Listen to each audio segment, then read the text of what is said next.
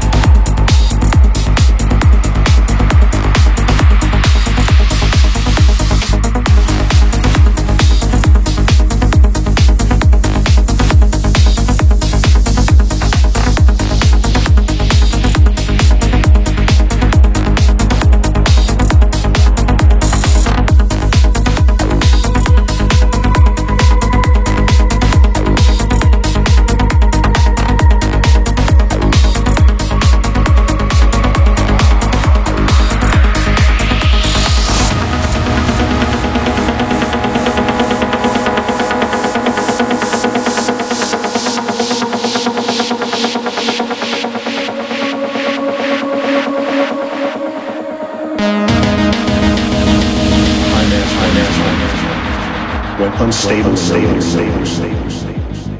They collapsed and then exploded, scattering their enriched guts across the galaxy.